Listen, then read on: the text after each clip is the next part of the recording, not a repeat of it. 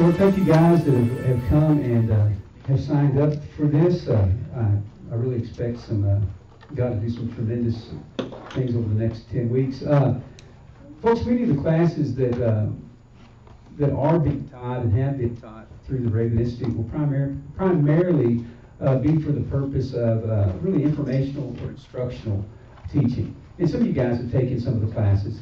And uh, these courses, they serve really kind of as a primary function of, of educating you so that you might have the right information that's going to be necessary to uh, really sufficiently carry out uh, that particular calling that God has on your life. So some of you guys that have taken some of the classes, you've seen that classes like church history uh, or theology one that Pastor Sam is teaching now, uh, apologetics. What, what are those things doing? Those things are giving us the information that we need to really lay down a foundation. And, and, and they provide really information that we have to have. It's going to be essential. Uh, then we have classes like the homiletics and the, the hermeneutics and the church planting, and those things give us some practical, really how-tos uh, in regards to the, oh, I'm losing this for. Check, one, two. The receiver? let me shift it over here. I think this needs to be up. Know it's brand new. Anyway, the homiletics, hermeneutics, church planting, things of that nature, they give us some uh, some how-tos in regards to the application of those learned principles. Some of you guys have taken those classes, and so it's not just I have information. It's like, okay, here's what you now do with the information. Some of you guys took the uh, the homiletics, and you learned how to, to how to construct and put together a message. You went through the church planting. You know, this is a church planting ministry, so it gives you some of the building blocks for that. And the reason that this class here, though, doesn't have a textbook is, uh, apart from obviously the, the Bible, is because it's not something that's merely instructional or informational. And so it's going to be a little bit different probably than any other class that, that, that I've taught or any of the other instructors at the Raven Institute teach. Uh, it could probably be categorized as more inspirational, transformational, spiritual in the sense that it's uh, it's something that's not going to be totally aimed at your head, but it's going to be aimed at our hearts. And so we, we give a lot. I mean, we're very much discipleship oriented. We believe that you need to be able to give an answer to any man that would ask for that reason, the hope that's within you. But there's got to be a reason behind that. Not just a reason that says just because of the Bible, but there's got to be something that drives and compels each and every one of us. And so for me, uh, speaking on a personal level. So, I, and I'm, I'm going to be over the next 10 weeks. What you're going to get, the reason there's not a textbook, because I'm just going to give you what God has written on the epistle of my heart over the next uh, couple of months. And so for me, if my walk in this ministry was just built upon information, I do not believe that we would see the impact that we see. I do not believe that we would see the miracles, literally, that we've seen strung together over so, so many years. Uh, Melanie and I stopped sometime and we just began to talk about, can you believe such and such happened? And had that not happened, this would not have happened. And you see this, these stringing togethers of things that God speaks, and He shows you, and you react, and you follow what God said.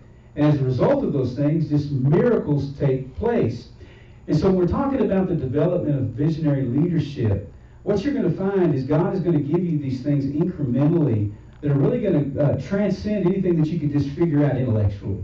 And you've got to be willing to walk with that type of endurance to get to that place. Because, you know, I see people or people come into the training center or they go out on the streets with us and they see the ministry. What people see is the fruit of 20 years of stringing together just those little increments of obedience. That's what they see.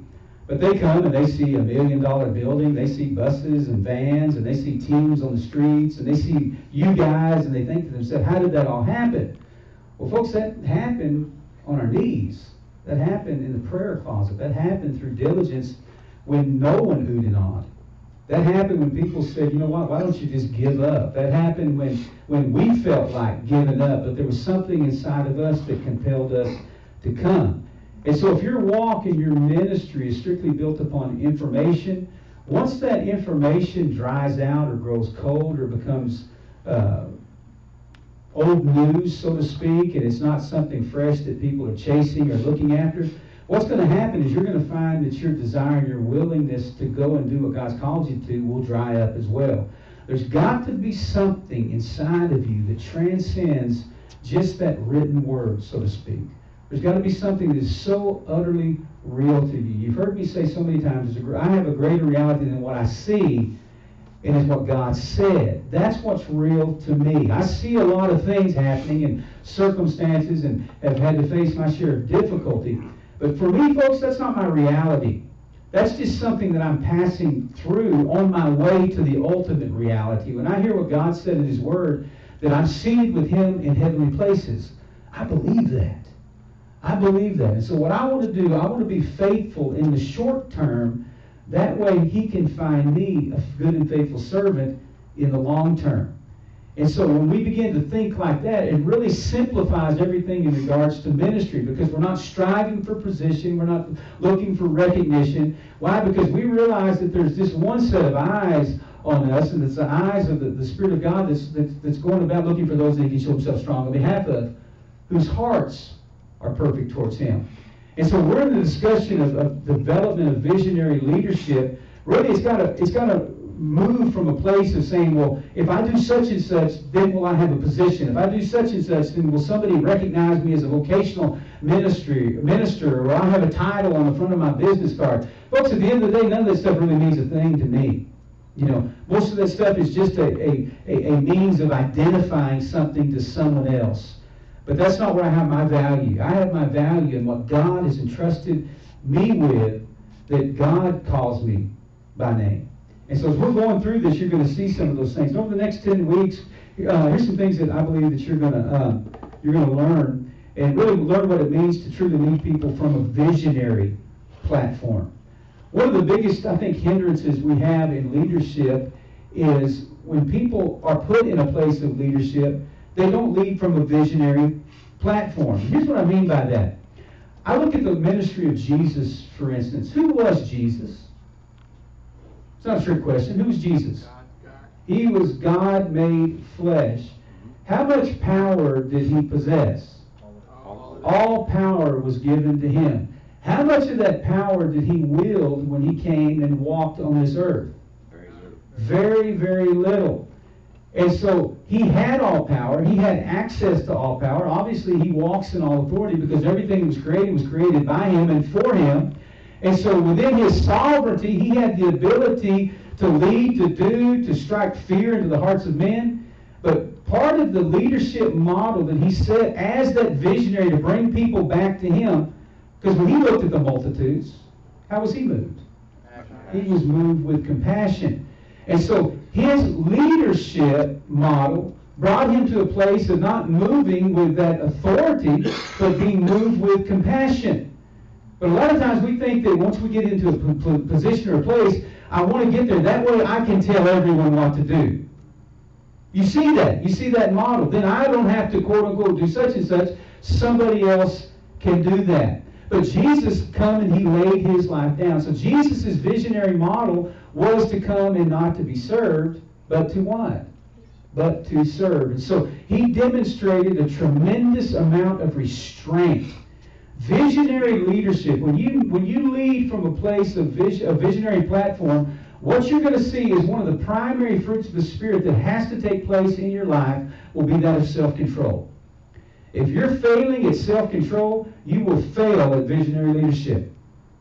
If you're a person that, is, that finds yourself just is reacting to circumstances? What do you find yourself being that, that guy that's on a, an emotional roller coaster, that girl in, in some cases obviously uh, on an emotional roller coaster and, and become unpredictable? That is a lack of self-control. That is a lack of demonstrating the characteristics that not only Jesus demonstrated, but part of it was implanted in us through the person of the Holy Spirit taking up residence in our life. And so you're going to learn how to lead people from a visionary platform that was modeled by Jesus.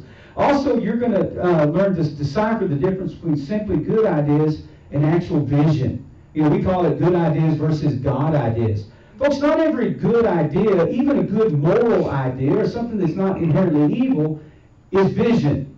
Because I talk to people a lot and they say, well, listen, I got a vision to you know, get a get a, a, a, truck and convert it into a mobile kitchen and, and go around the country and feed people and, and have a have a PA system.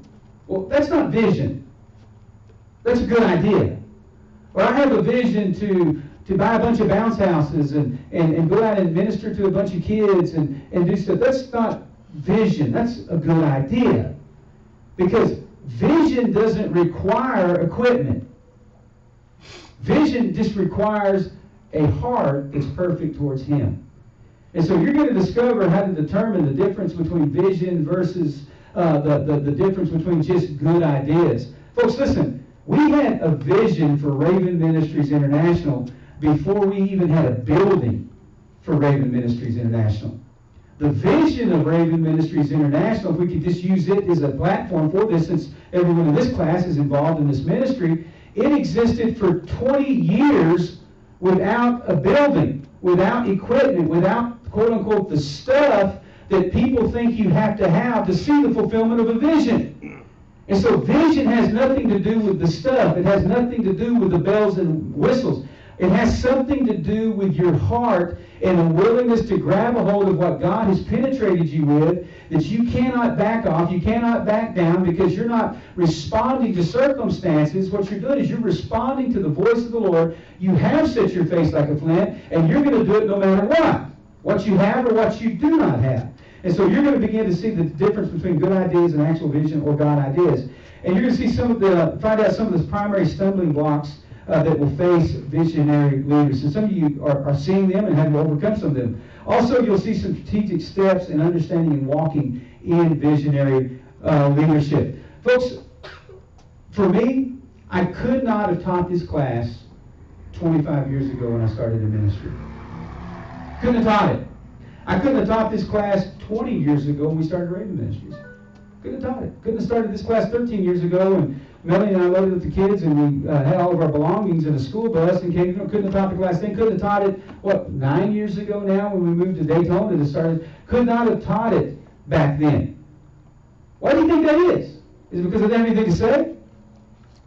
It's because I wasn't qualified to have this conversation then. Because what happens with visionary leadership, visionary leadership is something that's qualified over time. And, and here's an example that, that, that's something the Lord has showed me recently. I take this Bible, for instance. Let me take, take Audrey right there in the back. I just told you what it was, but if I held this up, what would you say this was? You'd say this Bible. Okay, that's good. Now, what if I went like, are you still watching me? What if I went like that and I said, am I flipped to the Old or New Testament? Old Testament. Well, if I ask you what book of the Bible that was, can you see that? No. Can't see that. What if I ask you to read something on the page? Obviously, you couldn't see that either, right? But you know it's a Bible, right? You know I was in the Old Testament. Why? Because you saw the general place that I had flipped to. Folks, listen. 25 years ago, I saw a Bible in the distance. You hear me? 35 years ago, it, it, it just nearly 15 as a teenager, I saw something in the distance, but I couldn't make out exactly what it was. That's where vision was beginning to get birthed. But it just looked like something that was on the distance and the horizon. But see, as, as vision moves closer to you, what happens? You begin to see the details of those things. And see, some of y'all, it's kind of like the song that there's a promise coming down a dusty road. You see, you see the silhouette of Jesus coming over the hill to bring uh, healer, uh, healing into the house of Jairus. And so you, you can tell it's him because you're accustomed to his outline, but you don't know what he's going to say. You don't know what he's going to do. You don't know the purpose for his visitation. And so what ends up happening? Well, a few things can happen. You know, for me, it took me uh, this long to get close enough to be able to read, so to speak, the words on the page. Because from a distance, what ends up happening when, when you don't allow it to, to come into full possession, what you start doing is you just kind of become spiritually arrogant and you just make it up as you go. That's just the reality. I was talking to somebody recently. I said, Man, I just praise God for his goodness and mercy. Because when I just saw God in the distance and I wanted to close that gap on my own terms and define what God said on my own terms, all I was is just an arrogant, snot nosed, prideful individual that God just had a lot of mercy on. Here's what I deserve. Here's what I can say. Here's what I can do. I feel obligated to win every argument, to just blow people up. Why? Because I could. Because I could talk faster to them. I could out argue them. I could hit them with more stuff and more rhetoric than they could ever pitch back at me. And so, man, look what I did. Well, look what I did. I did absolutely nothing but bring reproach to, upon the name of Jesus. And so, folks, what you've got to do is you've got to be willing to allow God over time to close that gap. We see it all the time. You know, for me, I, I praise God for a few things. I praise God that I didn't have my first personal computer until 1996. Praise God for it. I'd already been preaching the gospel and had enough hair skin off my head in five years of ministry and in raising the family that by the time I got that, you know what, I'd learned a few lessons.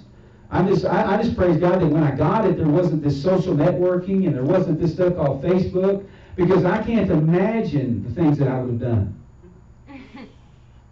Really, I can't, I can't imagine. I, I see some of the, the, the, the, people on there, people I know that get on there and clown and they become these armchair prophets and all this stuff and, and, and they think they know so much. And I'm thinking to myself, if you were sitting here, I would show you just how much you don't know. But what happens, you function in this anonymity, and it really becomes just a great arrogance because you can copy and paste or quote from the right uh, Ravenhill, or you can quote from the right person here, and, and you can say this and that. You think you've arrived. Now, I could do a, a, a, a, I could come through this place here today and ask you, what have you accomplished? How many ministries have you raised up? How many families and children have you raised? Renee? None. Okay? So you haven't arrived. You're still on that journey, right? You know, John James, good kid. But brother, what, what, what is it that you've accomplished up to this point? What is it in ministry that you've established that's going to be lasting and, and it's going to resonate? Nothing up to this point, right?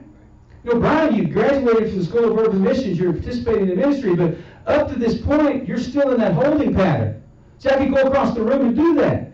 And so if we think to ourselves that just because we got the right uh, t-shirt or we're part of the right ministry or we have the right leader and all those type of things that we suddenly arrived or we can go and, and copy and paste the right thing what we've done is we've abandoned the foundation of visionary leadership in our own lives and so what God does, He's got to bring us to that place of humility. That's where visionary leadership has got to start. We've got to humble ourselves in the presence of the Almighty God and realize that even if we have done those things, folks, I've preached around the world, raised a family, got kids and grandkids, but at the end of the day, I've accomplished absolutely nothing in comparison to who Jesus Christ is. Anything that I've seen, anything that I've done is strictly because of God's mercy. It wasn't because Troy Bohn figured something out. It's because God reached down in my fallibility and he found something that he desired to use and he could bring glory to himself. That's it. I'd like to say that I had a college industry or something, but anything I got, God has given it to me. And so if you're going to walk and be a visionary leader, it's got to start with humility. Why? Because he gives what? He gives what? He gives influence. Grace. He gives his divine influence. So if I want to be influential, what do I have to be? I've got to be influenced. Because with whatever measure I measure out, it's going to be measured to me so I can measure out some more. And so I've got to come under the influence of God. And the only way as a leader that I can be influenced by Him is to humble myself before Him. God, I don't have the answers. God, I need you. God, I, I, want you to do a work in my life, Lord God. God, you've got to, to, to try me. You've got to test me. You've got to search me and see if there's anything that would impede you moving through my life and be willing to stay the course be willing to allow God to bring us through those things, to endure those, those trials and those tribulations, and not cut those things short. I, I remember when I was just, you know, getting into trying to, to, to, find my way through that call that God had upon my life. And I, I, remember one time just complaining. I was I was actually still working in the banking and finance industry, and, but man, I just you know what, I, man, I, I got that preach in me. You know what I'm saying? Man, I just want to preach. I got to preach. I got to preach. I, gotta preach. I didn't realize there was street corners everywhere I live that I could go preach on too. Why? Because I've been churchianity-ified, if I would use that weird word that. And so I thought that of achieving my calling was somebody recognizing that calling and allowing me to preach in the church. That's what I thought. You know, praise God that I've matured past that to this point. But I remember saying, you know what, God, if you'll let me preach the gospel, I'd be willing to dig ditches. Be careful what you ask for. And I remember one hot summer day up there in the Texas Panhandle. I was in a hole digging a ditch with uh, Thomas Derrick, Pastor Thomas in, uh, in, in, Florida, his older brother was my associate pastor. Him and I are digging a hole. And we're just digging away, singing some song or whatever else. And I looked at him, his sweat dripping off both of us. We are just black with dirt. And I looked at him I said, brother, I'm sorry. And he said, for what? I said, this is my fault. He said, what do you mean it's your fault? I said, man, I told God, if he let me preach the gospel, I'd be willing to dig ditches. And I said, he put me to the test and we're digging a ditch. But you know what? I kept preaching the gospel. I kept digging ditches, whatever it took to do and to facilitate what God had called me to do. Folks, your vision has got to be bigger than your circumstance. Your vision has got to be bigger than your circumstance. If you allow circumstance to derail your vision, you do not have vision. You have a good idea.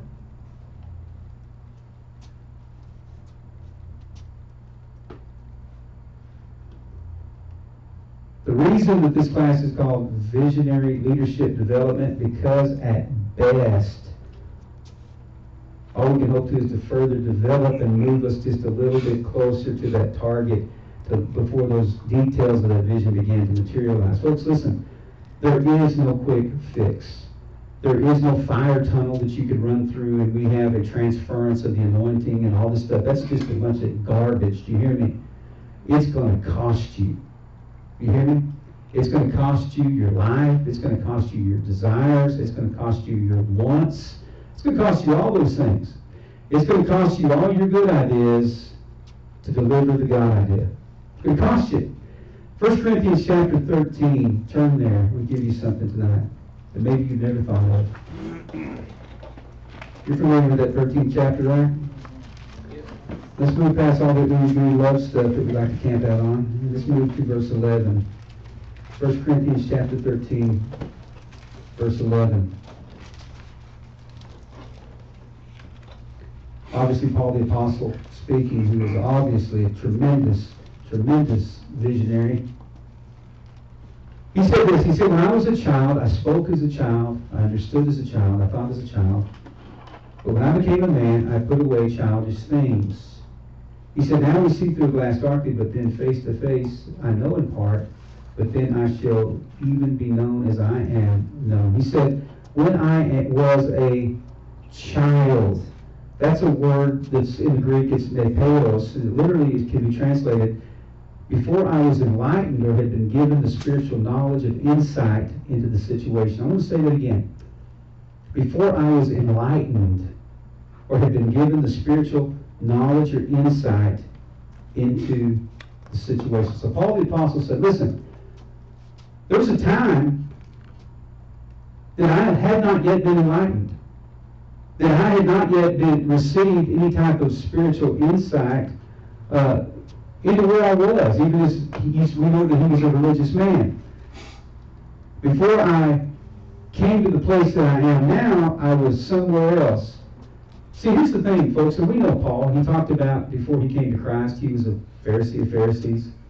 He was circumcised the eighth day. Uh, he was from the tribe of Benjamin. He said concerning zeal, he persecuted the church. We, we saw all his credentials. I mean, this was a guy that was educated, you know, taught, studied at the feet of Gamaliel. I mean, he had everything in regards to information. And so Paul was informed. Write that down. Paul was informed. But the problem was Paul was not enlightened. Paul was informed. Paul was not enlightened. I had a guy come up to me the other night on the streets, and uh, some of you probably saw him, kind of a big, white-headed guy, just just a boasting, proud guy. Stood right in front of the church, sorry, from the church, street church. He stood right in front of the cross, and he looked at me and he said, "So, what rock bottom did you have to crawl out from to come to this mess? And I said, well, I can tell you where I came from. I said, but man, you wouldn't think it was rock bottom. You'd think it was success and wonder why I ever turned away from it. I said, no, if you're implying that I was some drug addict or I was some alcohol, I said, wasn't those things. If you're, you're thinking that I was just some skid row dropout, high school dropout, I said, wasn't those things either. I said, I, I, I was great student, never tried drugs in my life, never done those things, and you know, I was going to fast my fast track myself into a career. I said, so my rock bottom, you probably wouldn't have thought it was rock bottom. In other words, I was enlightened. Okay? I was enlightened from a young age. I was without excuse. You know, I I, I, I remember reading David Wilkerson's Cross and the Switchblade when I was like six years old. I mean, I was introduced to things like that, and those things were around me. So I, I was enlightened, I was in, excuse me, I was informed, but I wasn't enlightened. And so I had a lot of good information. I, I remember in high school, you know, living as a backslider, we'd sit in a, a class and somebody bring up something, and, and I remember, you know, just shooting down the scripture and all this stuff, and or my Baptist friends at lunch that were once saved, always saved. Uh, you know, I, I don't believe once saved, always saved, and sure wasn't living like I believed you could uh, abandon or, or forfeit your salvation. But sure, I sure like in those cases with people. And so here I was, I had a lot of good information, but I wasn't enlightened.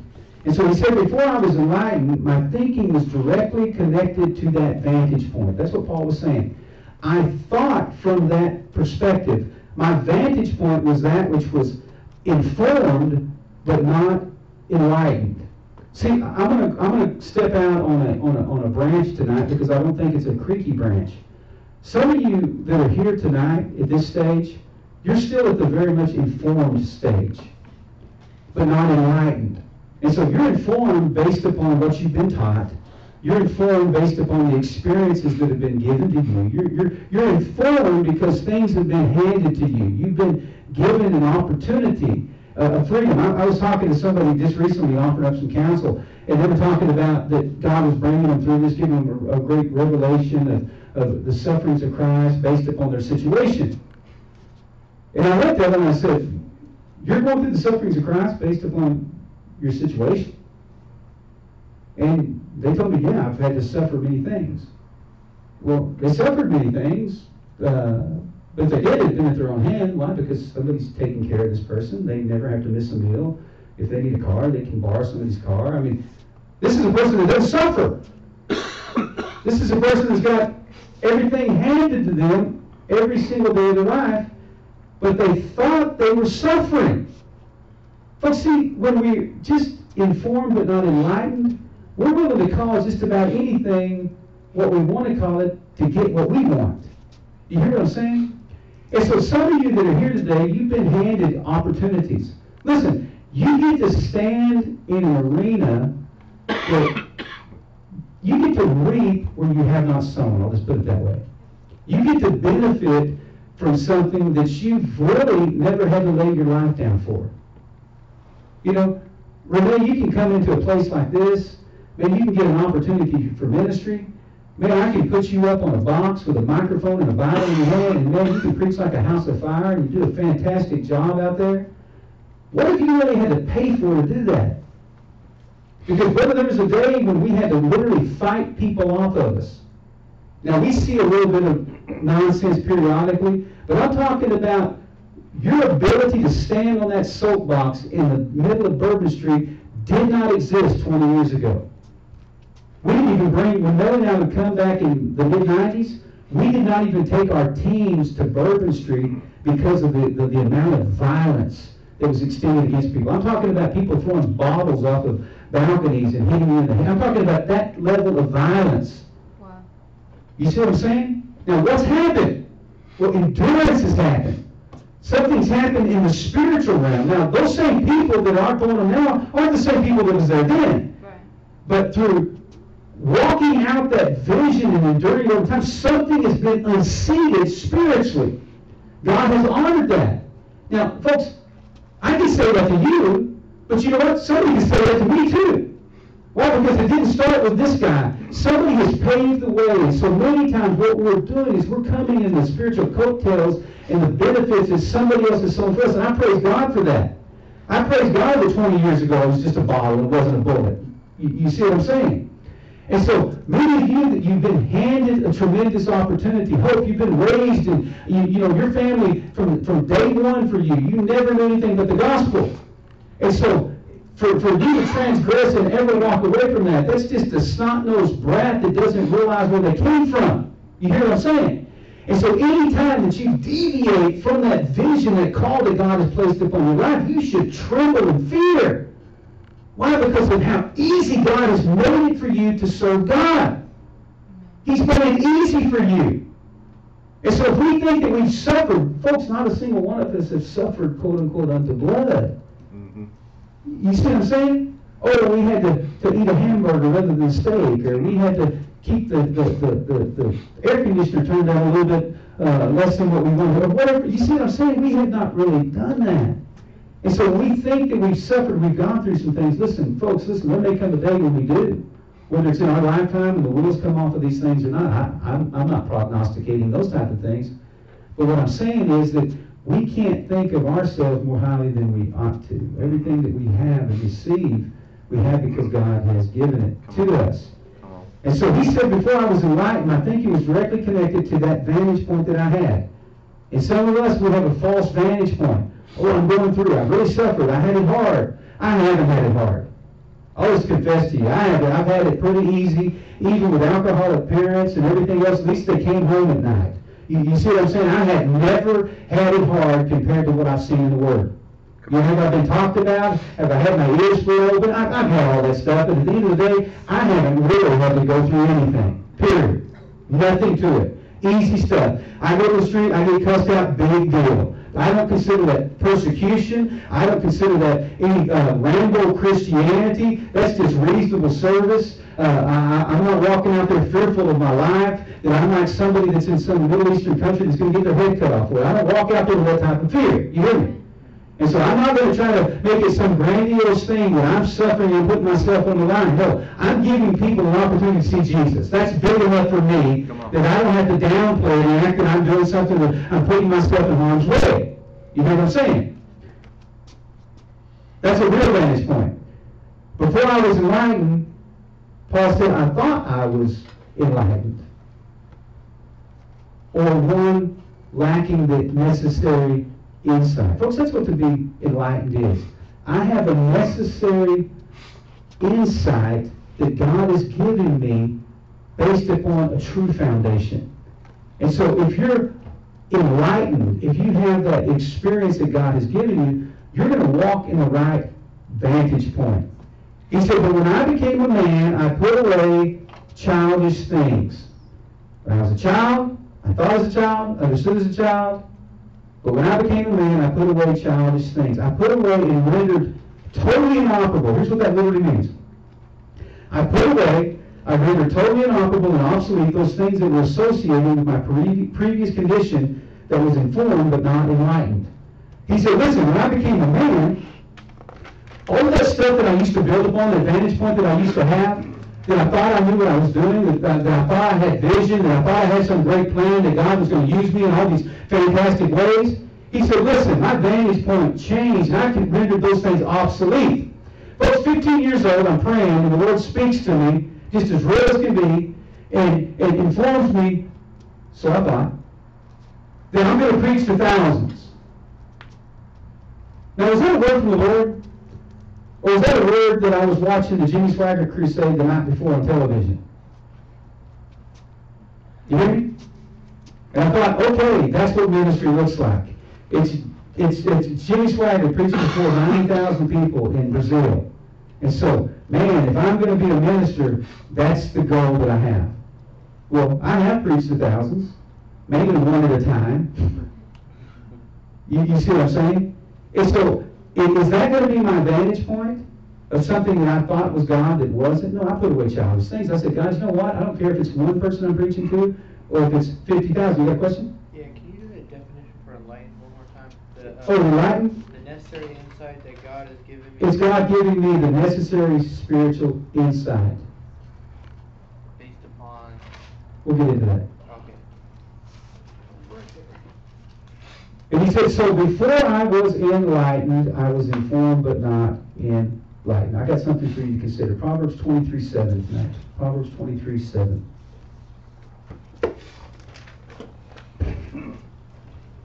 Does that ring a bell with anyone when I say Proverbs 23, 7? The address might, but as soon as I say it, you'll know exactly what it is. For as a man thinketh in his heart, so is he. For as a man thinketh in his heart, so is he. Somebody say that. Say that again, Lord. As a man thinketh in his heart, so is he. How many times have you heard that? Lots of times. You've heard that lots of times. I've heard it thousands of times over many years. But we missed it. You said it and you missed it. You know why I missed it? Because as soon as I tell you this, you're going to say, I've never seen that before. Notice it doesn't say what a man thinks, but rather as a man thinks. See, what's happening in churchianity today, we think what a man thinks in his heart, rather than as or how a man thinks. See, we get so caught up on the what that we forget the why. Yeah. You hear me? As a man thinks, not what a man thinks. Well, how do I know that?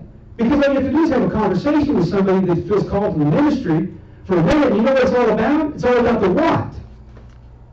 It's what God called me to do, or what God has for me, or what wife, or what husband, or what ministry position, or what mission trip, or what, what, what. And so we, we're so caught up in a what rather than an as. Because if I can get the as down, the what really doesn't matter. Because if I'm as Christ, if I'm functioning as He desires to me to be, really what the vision, how it materializes in my heart and life, I'm still going to play away. I'm still going to be faithful. Why? Because I'm not aiming at the what. And so when I say, listen, the, uh, what a man thinks in his heart, so shall he be. And so what I'm thinking is, is God's going to send me to the to the nations. I'm going to open up uh, an orphanage, or I'm going to go and I'm going to uh, uh, preach around the Caribbean on, on the deck of a ship, saying, uh, "Feed down for fun," or whatever. I'm going to do something like that. That's what I'm going to do, rather than the as, as a man thinks in his heart. And so, what shall that as be? And so, when I was a child, I thought as a child. See, there's the as. He didn't say when I was a child, I thought, what a child. I thought from the capacity, uh, I thought from the from the, the visionary platform of a child. And so it became all about what. Now, folks, in, in a room like this, when I say some of you are still at the information stage, the reason being is because you still define ministry by what you do rather than as you do. Because what you do is always going to be circumstantial, it'll be geographical, it'll be vocational. And so I'm not really in ministry until I'm full-time ministry. I'm not really in ministry until I go and do such and such, or I preach in this church. Folks, that's what we want. And so as long as I'm pursuing after the what, I can do that in my own intellect. I can do that in my own ability. I can do that in my own strength. I can make enough connections to fill my time with all these whats. But then, what's the what? Well, it's the Matthew chapter 7. I did all of these things in your name. I did what? Well, I cast out devils. I did what? I prophesied. I did what? I did miracles. That's all the what, rather than the as. Depart from me. I never knew you. I never knew you as somebody that I was intimate with. So, folks, we need to think as Christ thinks in regards to ministry, in regards to leadership. Then what ends up happening? Well, we never back down, we never back away, we never go away, we never give up, we never burn out, because it ceases to do be what we do, and it becomes who we are. If you're going to be a visionary leader, it can never be about what you do. Right. It's going to be about who you are. Come on. Then whatever you do becomes easy. Because you don't care what you do. You know, man, I'll tell you what, it'd probably be a little bit more lucrative if we could find somewhere else to minister besides the middle of the street with a bunch of drums. Right. Don't you find humor when they say y'all are just out here for the money? Isn't that the funniest thing you've ever heard? Right.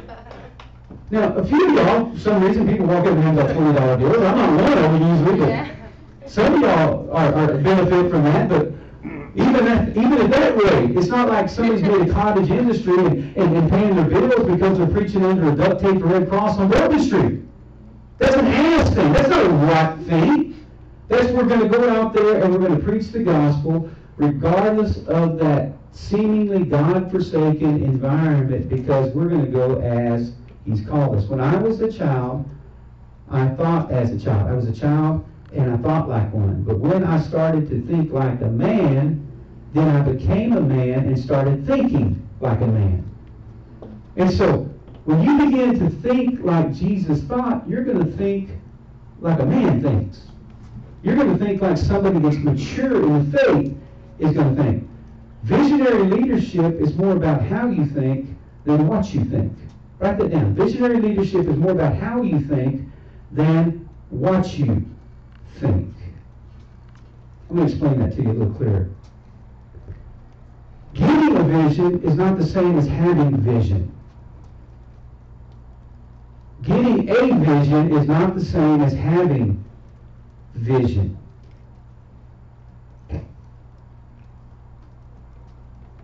Acts 2.17. You know it. In the last days. Who says?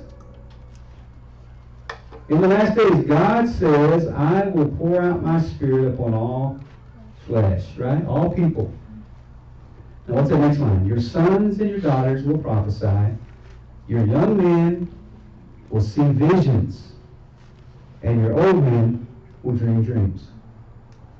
We sing it, we preach it, we shout it, we proclaim it. God says, in the last days I will pour out my spirit upon all people. Your sons and daughters will prophesy. Your young men, what men? Young. Young men will see vision.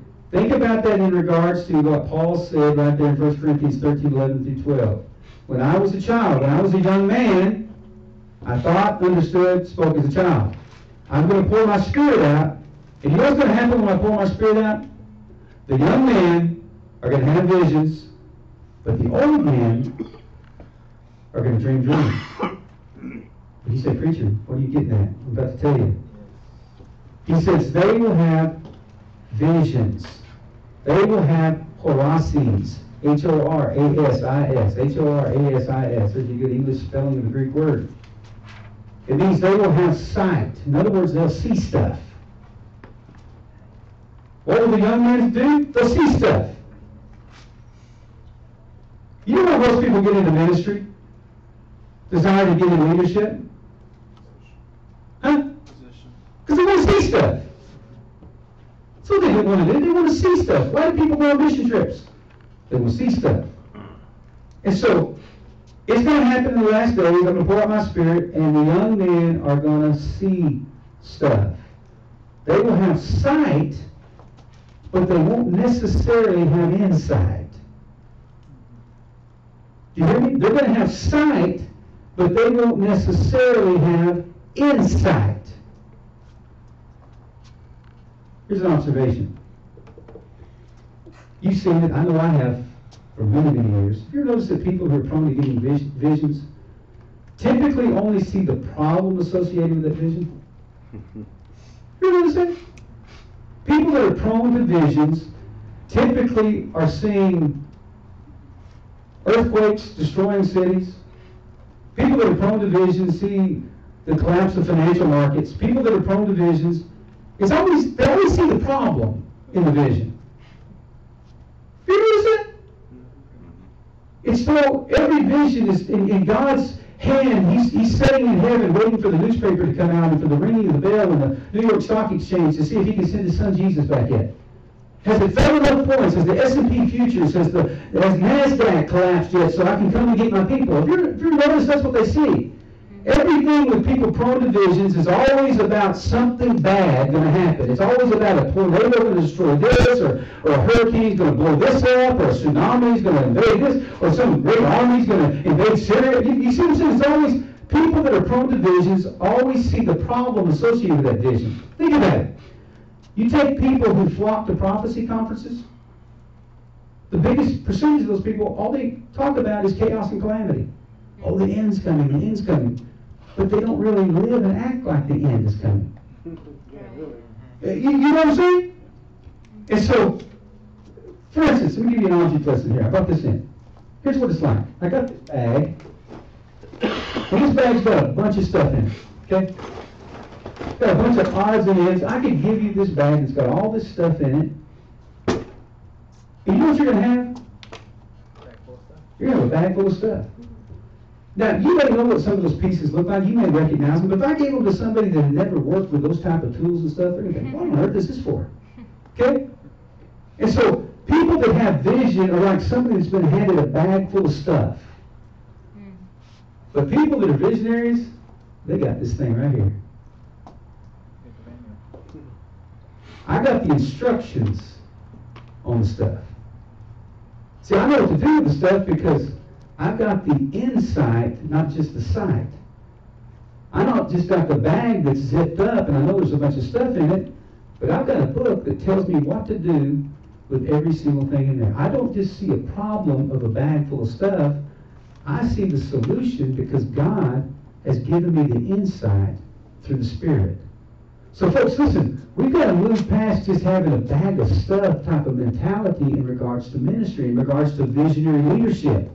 We've got to say, God, I want you to give me not just the side of it, but I want to get you, give, you would give me the inside. And so, visions, when he's talking about your young men will have visions, let me give you a definition for that. It's just a glance into the supernatural. It's a glance into the supernatural. Your young man will see visions. They'll see just a glance into the supernatural. And so if I have visions, I just get a, a glance. I just get a little flash, and you know what is happening? It's kind of like when I worked in banking, periodically they would do a fake bank robbery. They wouldn't tell anybody but the branch manager and somebody else, and they would have these men rush in and do all these things, and people would be in this wholesale panic. It was just crazy. Obviously, they'd tell the guards so they wouldn't shoot anybody and stuff like that. then when they leave, the police would come in that had orchestrated this, and they begin to ask people questions. Who's a witness? Who got to see that? Somebody raise their hand. What color shirt was that guy wearing? They'd ask you questions like that. And you know what? Most people were wrong. How tall do you think that guy? Oh, that guy had to be about six foot two. They said, okay, let's walk that guy in. He said he had a blue shirt and he's six foot two. Well, he was about five foot eight and he had a green shirt on. Because all they got was a glance of him, but they thought they could identify the perpetrator. Folks, that's the way most people do that consider themselves to be visionaries. They consider themselves to be leaders. They consider themselves to be ministers. All they do is get a glance into the supernatural. But you know what vision will do for you? It will create a pathway for you into the supernatural. Vision just gives you a glance. Visions just give you a glance, but vision will create a pathway for you into the supernatural.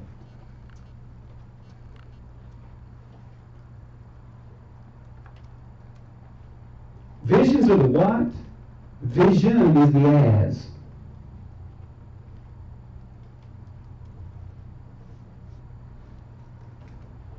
So Paul said, young men are the enlightened ones, or actually the book of Acts.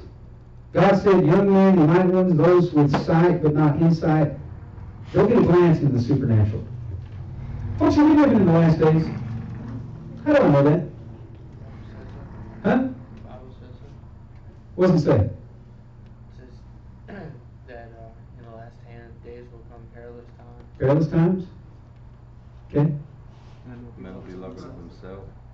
Mhm. lovers of money rather than lovers of God. Okay, that's Second Timothy chapter three. They have lots of Okay? Which was probably written, what, 40 years after the book of Acts? which has probably happened ever since then. I'm just saying, but 40 years after the book of Acts. Well, so I had to wait 40 years before I knew that that word was going to come? No, I just had to go back here to the prophecy that he spoke of from the prophet Joel. I know we're living in the last days. Why? Because young men are going to have sight, but not insight. See, folks, it's not the condition of the world that tells me we're living in the last days. It's the condition of the church. Right.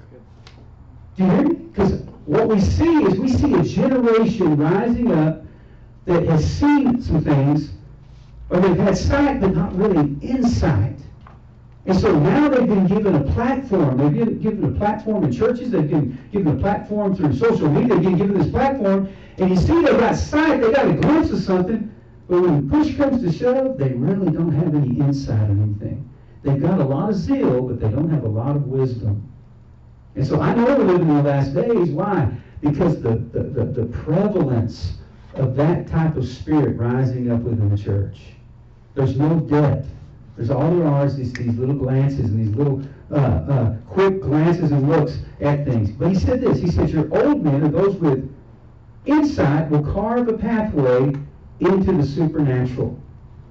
The first one, young men, is problem focused. The second is solution established. Write that down. Your young men, they're going to be problem focused. Your old men or those with spiritual insight are going to be solution established.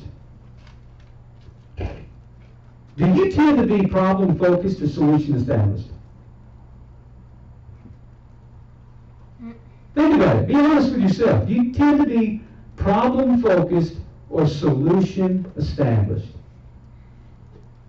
Until recently, problem focused. Problem focused. Most. Most of the time, problem focused. Problem focused? Yeah. Folks, that's the bulk of the church.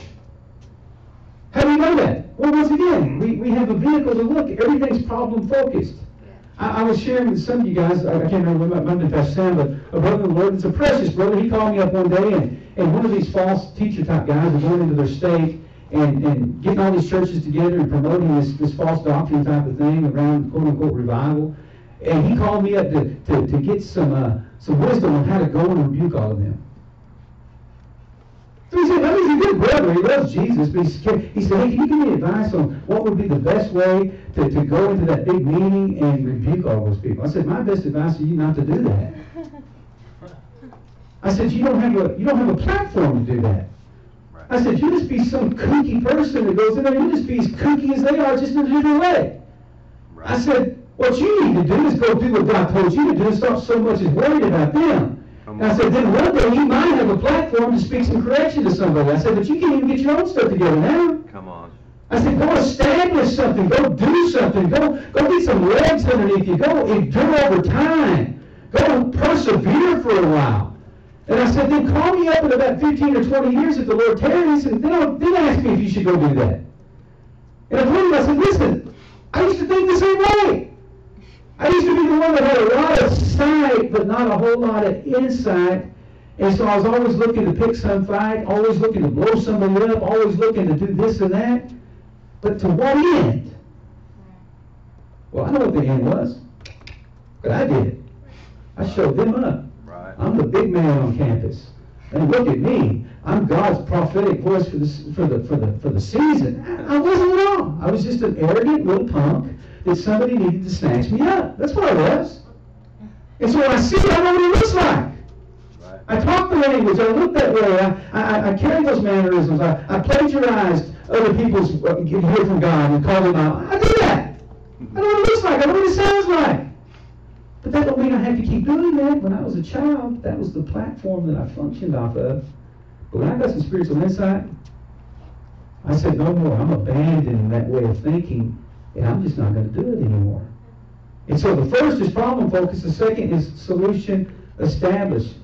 That is how they think, so they are.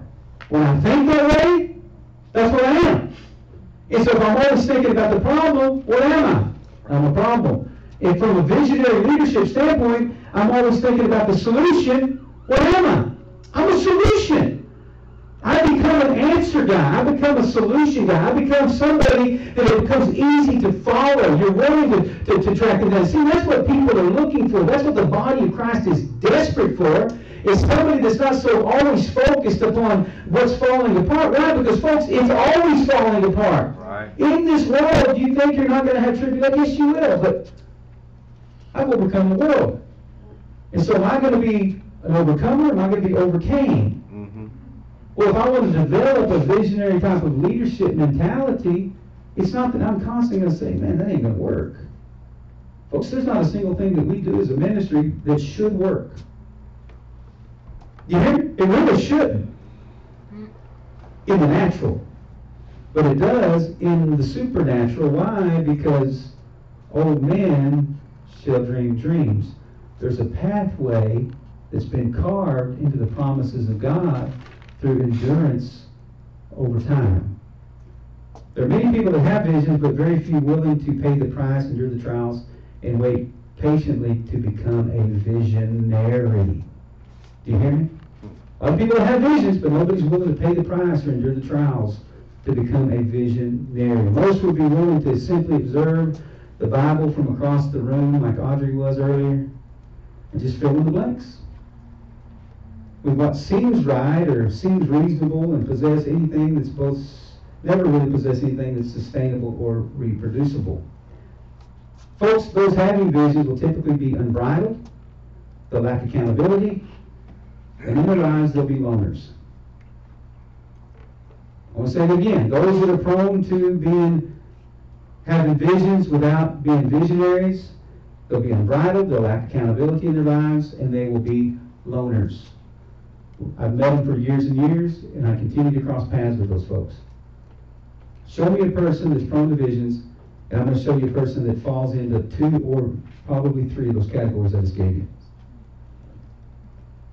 Have you been there, heard that, said that, maybe you were that? But those having vision will typically be disciplined, they'll be deliberate, and they'll be, tend to be facilitators for other people. If you want to be a visionary, you're going to be a disciplined person. You're going to be a person that's very deliberate in everything that you do, and you're going to be a person that is constantly facilitating other people because visionaries exist for the benefit